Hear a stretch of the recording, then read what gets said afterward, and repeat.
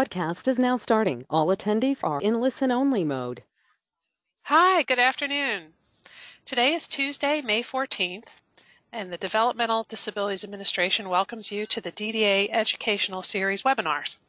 Today's topic is how to report abuse and neglect. Before we begin, I'd like to go over a few things about the webinar.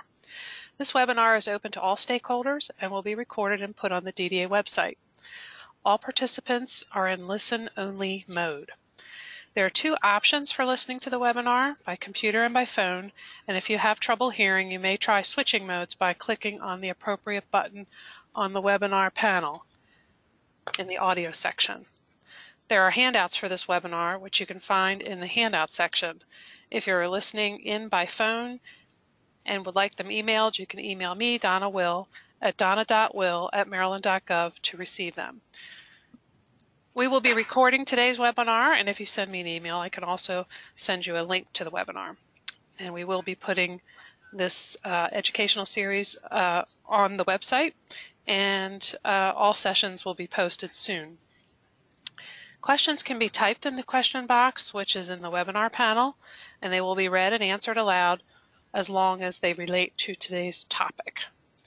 So we have several staff uh, presenting today. Um, Angela Clark, who is the Director of Quality Enhancement, and also um, we have Adrian Holloman, who is the Director of Nursing, who um, I would like to introduce right now. So um, hello, Adrian. Hi, Donna. Thank you. Good afternoon, everyone. So as we're introducing this um, webinar, we're going to go over the agenda. Um, we will be talking today about how to report abuse and neglect. We will start with an overview of the DDA, and next we will talk about the why, followed by information regarding the policy on reportable events and investigations, which we call PORI, um, abuse, neglect, and incident reporting. After which we will cover the resources and end the webinar with the question and answers um, from the webinar participants. So the DDA believes that all people have the right to live, love, work, learn, play, and pursue their life aspirations in the community. We partner with people with developmental disabilities and families to provide support and resources to live fulfilling lives. We provide a coordinated service delivery system to enable children and adults with intellectual and, and developmental disabilities and families to work towards self-determination, interdependence, productivity, integration, and inclusion in all facets of community life across their lifespans. We are one of many resources available, services and supports available to assist individuals and families as they build their lives toward their vision of the good life. The DDA supports children and adults with developmental disabilities and their families. Before considering the various services and supports available under the DDA waiver programs, it is essential to first consider the goals to support the person's vision of what is a good life.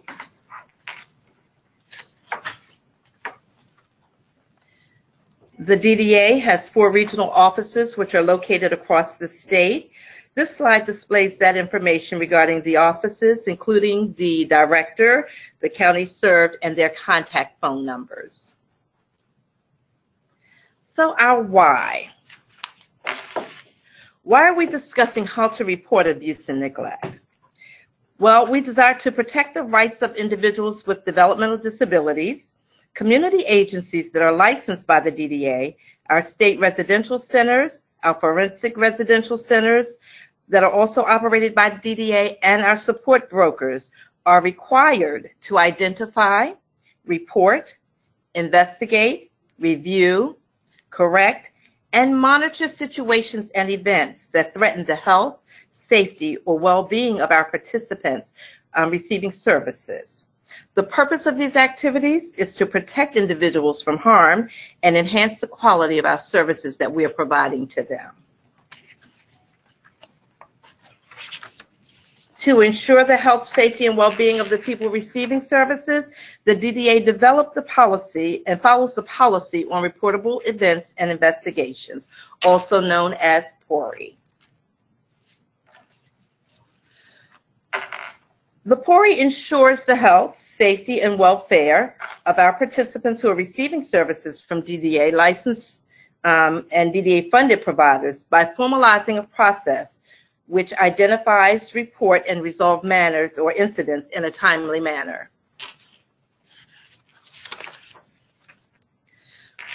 So what type of incidents do we report? What type of issues should be reported?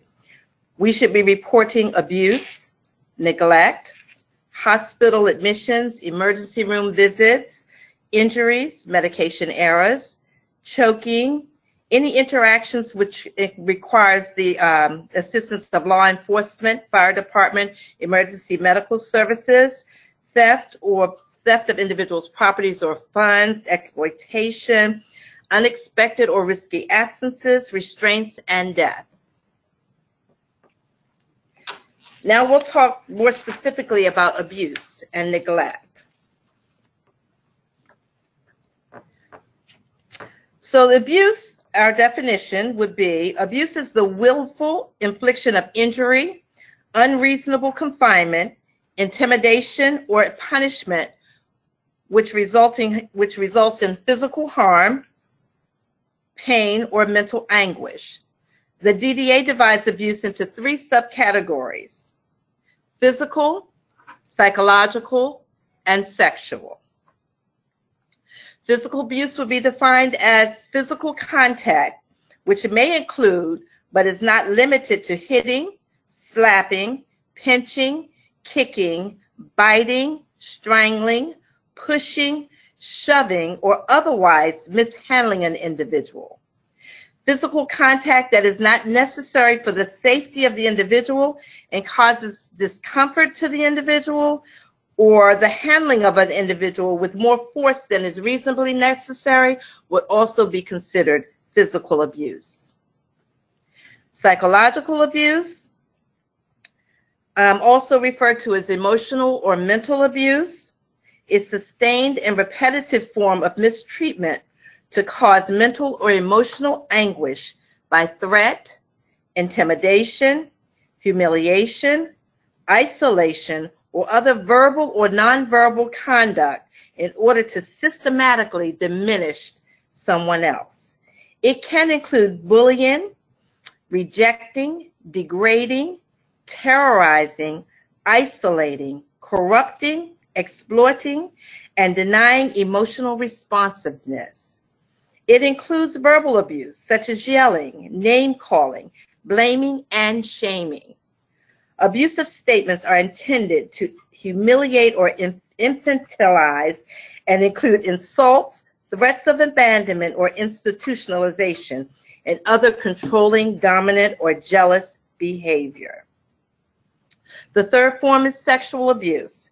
Sexual abuse is when sexual acts that are performed for the purpose of arousing sexual thoughts or feelings, or sexual dominance or power, and not for purposes related to the provision of care. It can also include physical or non-physical contacts. Our neglect or neglect definition is the failure to provide proper care and attention to an individual that results in significant harm or jeopardy of harm to the individual's health, safety, or well-being. Failure to provide necessities such as food, clothing, essential medical treatment, adequate supervision, shelter, or a safe environment. At this point, I'll turn over the presentation to Angela to, to go over the rest of the incident reporting. Thank you, Adrienne. Now we will talk a little bit about the reporting process. As a reminder, if you see something, say something.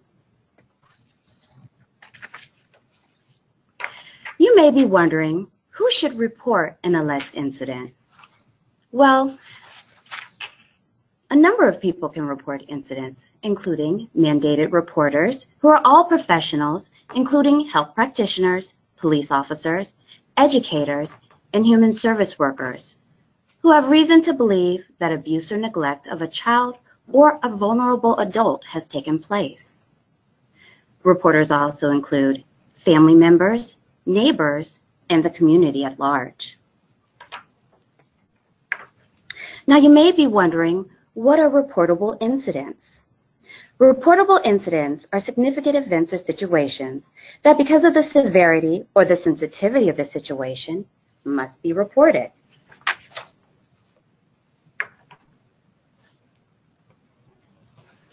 The DDA requires its providers to submit incidents electronically within prescribed timeframes to the Office of Healthcare Quality, the local DDA regional office, the involved coordinator of community services office, the family, advocates, Disability Rights Maryland, social services, law enforcement, or other external entities as directed by individual policies. So how and where should incidents of abuse or neglect be reported? To the Office of Healthcare Quality or the DDA via the websites that you're able to see on our screen.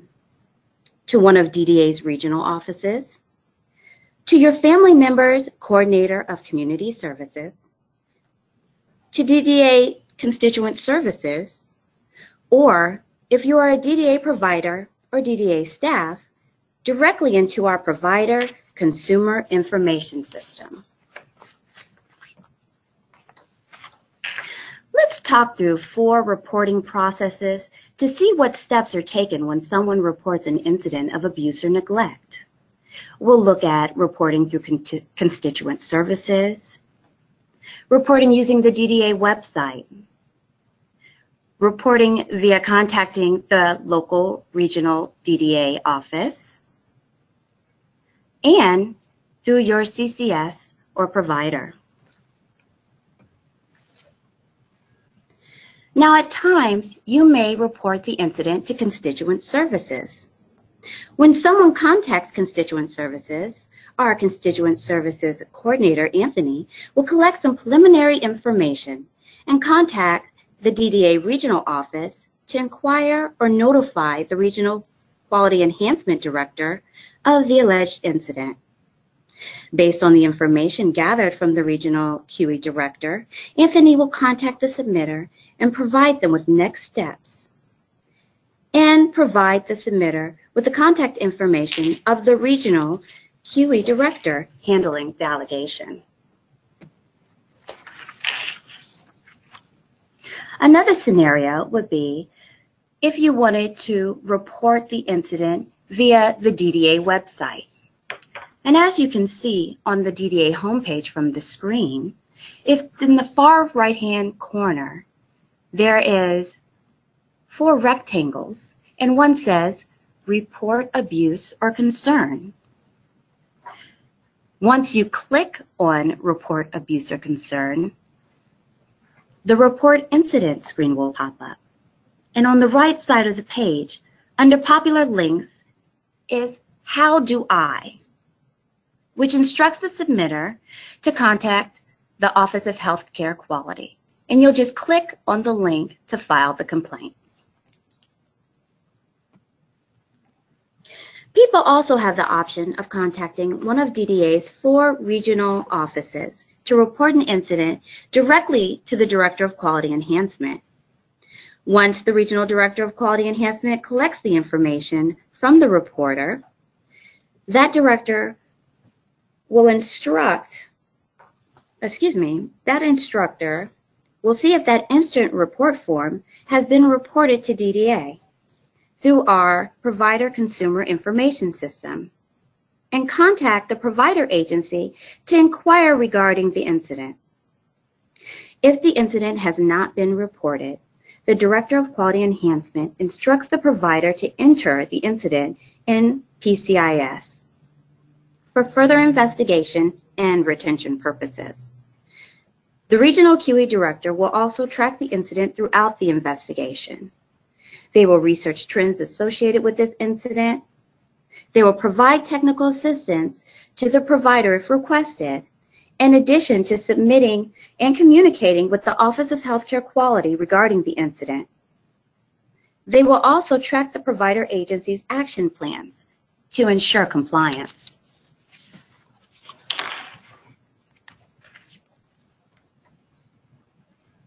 As previously stated, the incident reporting information is entered into our PCIS system. And on the slide, you can see a couple of the screens from the online incident reporting form.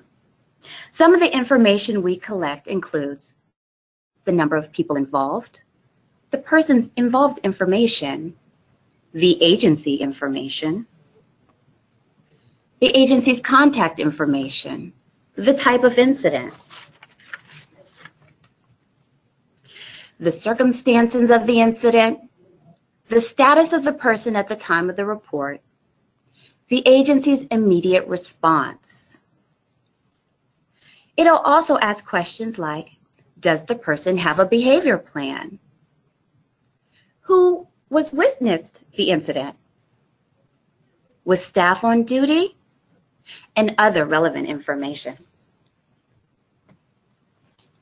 Now, the last reporting process we'll cover today is incident reporting via the Coordinator of Community Services or Provider Agency. Once a person contacts the CCS or provider agency, that agency is required to report the alleged incident to DDA via our PCIS system and, and internally investigate the allegation to ensure the safety and well-being of their client. Once the incident is reported, the Office of Healthcare Quality and the Medicaid Fraud Unit are notified of the alleged incident for investigative excuse me, purposes as well. Based on the results of the internal investigation, if substantiated, the provider agency will develop an action plan and complete it. As previously stated, the Regional Quality Enhancement Director will also track the incident throughout the investigation, research trends associated with the incident, provide technical assistance to the provider if requested, submit and communicate with OHCQ regarding the incident, and track that provider agency's action plan to ensure compliance. Well, that finishes our presentation on how to report abuse and neglect. We will now review a couple of resources.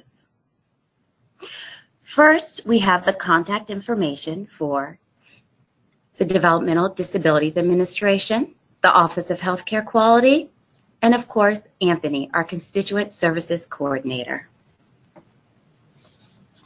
Now, if you decide to contact the region directly to report an incident, you will want to direct your call to one of the following regional directors of quality enhancement or their team. In the central region, we have Shireen Hodge Ryan. In the eastern region, we have Adedapo Latitan. In the southern region, we have Mark Celeste. And in the western region, we have Don Orndorff.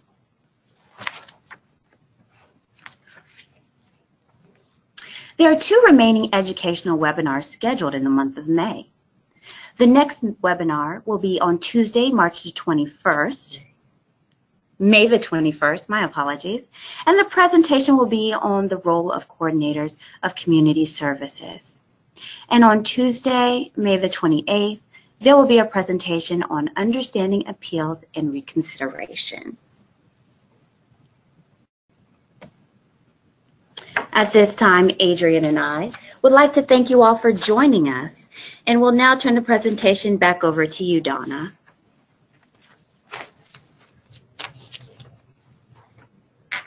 Did, are you ready for questions? Yes. All right, so now we will start addressing questions in the queue. If you have a question and would like to ask one of our subject matter experts, Adrian or myself, a question regarding how to report abuse or neglect, please type your question into the chat box and one of us will respond. And I'm just going to take a quick peek and see if we have any questions today.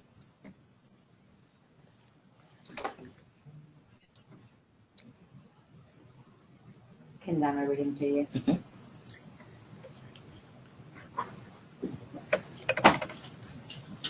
All right, let's open it up and see if we can see them, and then we can read them out loud. So let's make this a little bit bigger. I only see one question. Okay. Okay. So go ahead and read it for us. Okay, licensed nurses are mandated reporters of suspected abuse neglect. They are trained to report to Adult Protective Service and Child Protective Service. It is my understanding that there is a MOU with the APS and CPS that all complaints are deferred to DDA. So, to whom should the RN LPN nurse report? If to DDA, and since the licensed nurse does not have access to PCIS2, should they report via the tab on the DDA website? They can give a call to the regional office or to the Office of Healthcare Quality. Okay.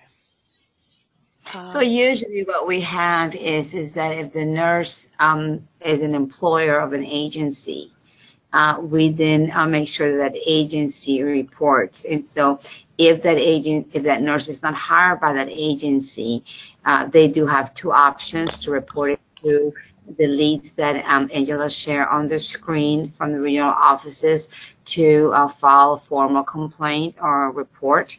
And then we will then guide it and complete the information in our PCIS2 system.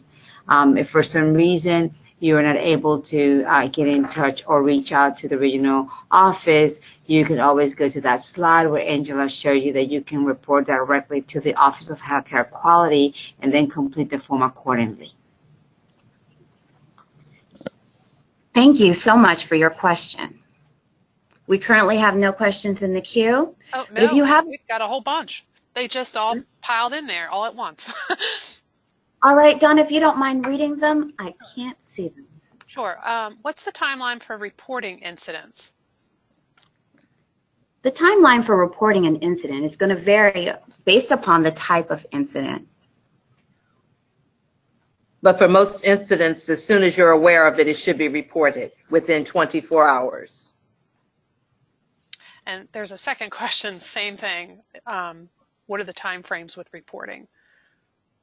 I think that what we need to do is refer everybody to the PORI uh, policy and procedures that guides and tells people exactly what it is. Uh, for example, we want people to report as soon as possible. There's some things we want to report within 24 hours, and there's some, and then the other piece is how long does it take to do the internal investigation or the external investigation. But any incident report should be reported immediately. And while we know that agencies or families and everybody's trying to get all the facts, we really want all the incidents to be reported within 24 hours. Okay, we have another Really question. Um, who would be the proper reporter of alleged abuse neglect to a self-directed participant? So it can be whoever observes the, or whoever suspects. So if it's a support broker, if it's the individual or the participant, if it's a family body, family person, it's anyone who suspects. And what we try to tell people is if you assume, you suspect, you think, you know, it's better to report it. And then when the investigation gets completed, it could be substantiated or not substantiated. But we don't want neighbors or friends or families to become expert reporters or investigators. We just want to be aware of the incident so that we can um, uh, take the proper action accordingly.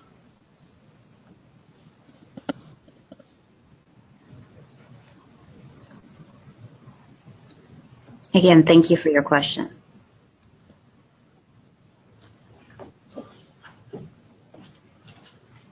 Okay. Um, have the revisions on PORI been finalized?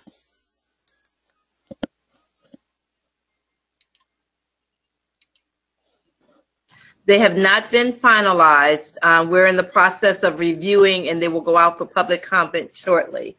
And then they will be finalized after the public comment and revisions.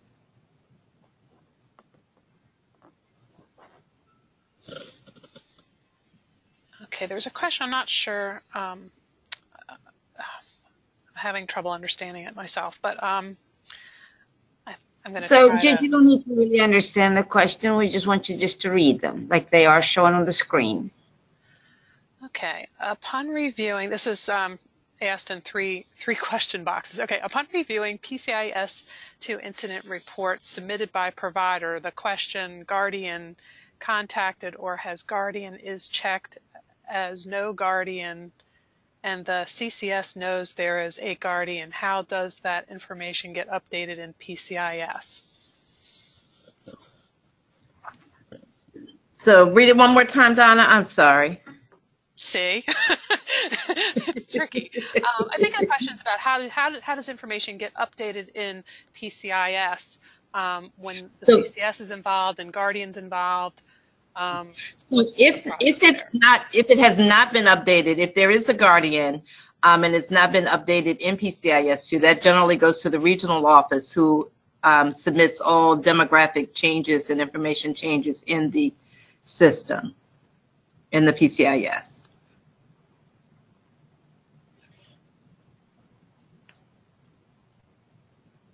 okay. Um, we will still be reporting in PCIS 2 after LTSS goes final in 2020. Yes, it will be a pro, uh, process. So right now in 2020, we'll still be in PCIS two. Okay. Are police brought into situations where an incident has been reported? It depends on what the incident is. If it, if it should be um, reported to the police or police should have police involvement, it will be reported. Okay. If an individual was in a car accident and the individual was not injured, but visited the ER and not admitted, is this considered an incident even though the person was not injured? Should it be reported? Yes, any type of encounter where one of our clients are involved, we need to have that reported, just so we can have it on the record. I think that was the last question. Yeah. And um, yeah, if I hope we answered that one person's question. Um, if not, um, please submit your question again if you feel like it was not answered. Okay, I see a wait. Susan, we're waiting for you whenever you're ready.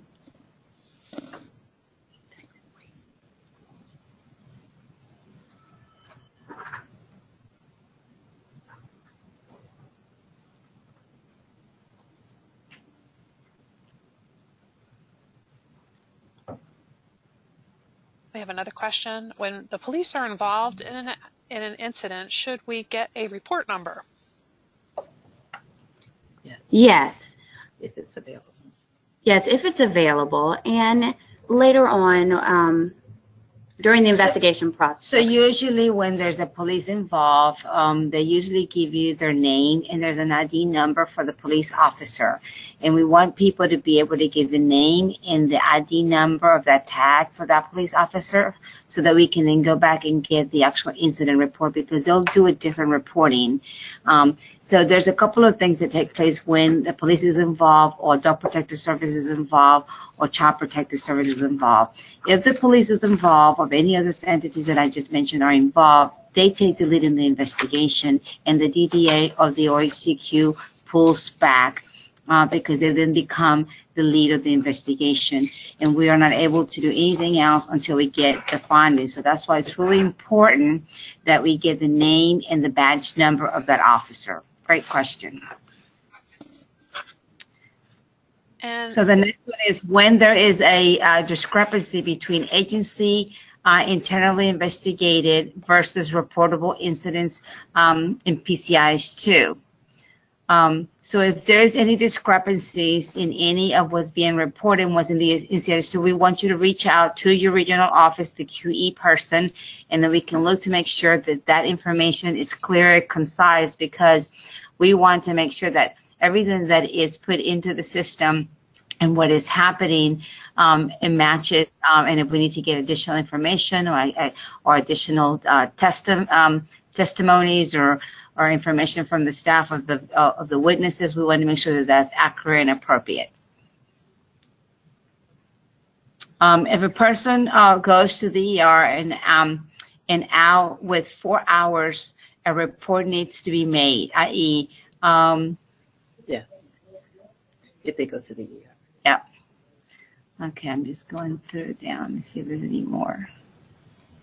I think we got, uh, they're kind of popping in a little slow here on this end, Donna. I don't know if they're popping in that slow on your end. Yeah, I don't see any new questions. okay. So if there's no, no questions, I, I would recommend that folks really look at the DDA website, uh, familiarize yourself with where to, how to, and what to, where to report to. Um, this summer, our Director of Nursing and Angela will be sharing with the public where we are with the additions and the enhancements to our um, PORII. And so we'll be sharing that. I know that was a question asked, so we'll try to have that out this summer for this summer to get people's um, input and recommendation. But for today's purpose, we really wanted to make sure that um, folks, families, people in services know where and how to report an incident. Um, or they feel they're being abused, neglected, exploited any other areas, we just want you to be aware that there is a place for you to report. Um, if you want to do it anonymously, if you want to talk directly to a region, if you want to do it um, through the um, internet, through a web-based um, process, those things are available for you. And we just didn't know how many people knew about um, how to report in the avenues people had to ensure their health and safety. So if that is it and there's no more questions, uh, please join us again next Tuesday where we're going to be talking about um, case conflict resolutions and um, Amy will be joining in leading that discussion. Is it the, oh, the Jamanja is next week, right? Uh, Dr. Smalls on the roles of, yes, it's good. Thank you for correcting that. Thank you. All right, thank you, everyone. I hope you have a great rest of the day.